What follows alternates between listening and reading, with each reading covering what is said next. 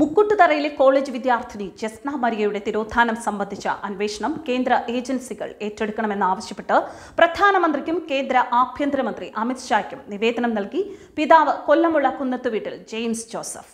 കാഞ്ഞിരപ്പള്ളി രൂപതാ മെത്രാൻ മാർ മാത്യു അറക്കലിന്റെ സാന്നിധ്യത്തിൽ ഇത് സംബന്ധിച്ച നിവേദനം യുവമോർച്ച ദേശീയ സെക്രട്ടറി അനൂപ് ആന്റണിക്ക് കൈമാറി. അമിത്ഷാ ഇടപെടുന്നതോടുകൂടി ഒരു സമൂഹത്തെ ആകെ ആശങ്കയിലാഴ്ത്തിയ ജസ്ന തിരോധാനത്തിന്റെ ദുരൂഹത നീങ്ങുമെന്നാണ് കരുതുന്നത്. രണ്ടായിരത്തി പതിനെട്ട് മാർച്ച് ഇരുപത്തിരണ്ടിനാണ് ജസ്നെ കാണാതായതിനു പിന്നാലെ വെച്ചൂച്ചിറ പോലീസ് കേസ് രജിസ്റ്റർ ചെയ്ത് അന്വേഷണം തുടങ്ങിയത്. പിന്നീട് ഇത് ക്രൈംബ്രാഞ്ച് ഏറ്റെടുത്തു. വർഷം മൂന്നായിട്ടും ഒരു തുമ്പ് പോലും കണ്ടെത്താൻ കഴിഞ്ഞിട്ടില്ല. ഊഹോപാഹങ്ങളും അസത്യങ്ങളും പ്രചരിക്കുന്നു. ഇതുവരെ തനിക്കോ തന്റെ കുടുംബത്തിനോ തൃപ്തികരമായ ഒരു വിവരവും ലഭിച്ചിട്ടില്ലെന്ന് ജെയിംസ് ജോസഫ് പരാതിയിൽ പറയുന്നു. ഇക്കാരണം കൊണ്ട് തന്നെ ജസ്നയുടെ തിരോധാനം കേന്ദ്ര ഏജൻസികൾ അന്വേഷിക്കണം എന്നാണ് നിവേദനത്തിൽ ആവശ്യപ്പെട്ടിരിക്കുന്നത്. രണ്ട് വർഷത്തിലധികമായി കേരള പോലീസ് തിരയുന്ന കേസാണ് ജസ്നയുടെ തിരോധാനം. കാഞ്ഞിരപ്പള്ളിക്കടുത്ത മുക്കൂട്ടുതറയിൽ നിന്നും കാണാതായ ജസ്ന മരിയ ജെയിംസിനെ കണ്ടെത്തണമെന്ന് ആവശ്യപ്പെട്ട് വലിയ പ്രതിഷേധം തന്നെയായിരുന്നു സംസ്ഥാനത്ത് നടന്നത്. എന്നാൽ പുറത്തുവരുന്ന റിപ്പോർട്ടുകൾ കേരളത്തെ ഞെട്ടിക്കുന്നതാണ്.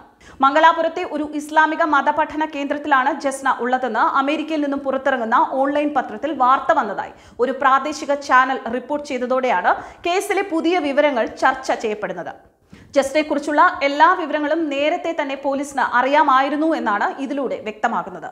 എന്നാൽ പോലീസ് ഇതിന് ഒരു സ്ഥിരീകരണവും നൽകുന്നില്ല എന്നതാണ് വസ്തുത. ഇതുമായി ബന്ധപ്പെട്ട വിവരങ്ങൾ കേസ് നേരത്തെ അന്വേഷിച്ചിരുന്ന മുൻ ക്രൈംബ്രാഞ്ച് മേധാവി ടോമിൻ തച്ചങ്കരിക്കും.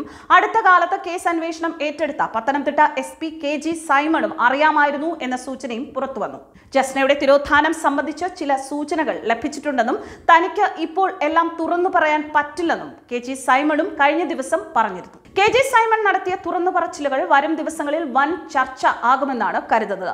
രണ്ടായിരത്തി പതിനെട്ട് മാർച്ച് ഇരുപത്തിരണ്ടിന് രാവിലെ ഒൻപതരയ്ക്ക് വീട്ടിൽ നിന്ന് മുണ്ടക്കയത്തേക്ക് പോയ ജസ്നയാണ് പിന്നീട് കാണാതാകുന്നത്. ആദ്യം ലോക്കൽ പോലീസാണ് കേസ് അന്വേഷിച്ചിരുന്നത്. പിന്നീട് ക്രൈംബ്രാഞ്ച് അന്വേഷണം ഏറ്റെടുക്കുകയായിരുന്നു.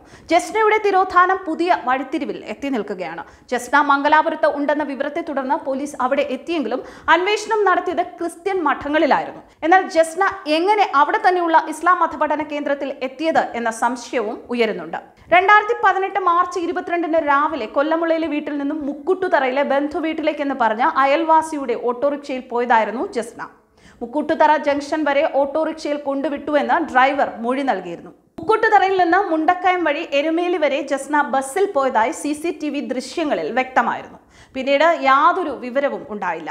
വീട്ടിൽ നിന്ന് പോകുമ്പോൾ ജസ്ന മൊബൈൽ ഫോൺ എടുക്കാതിരുന്നതാണ് അന്വേഷണത്തിന് തടസ്സമായത്.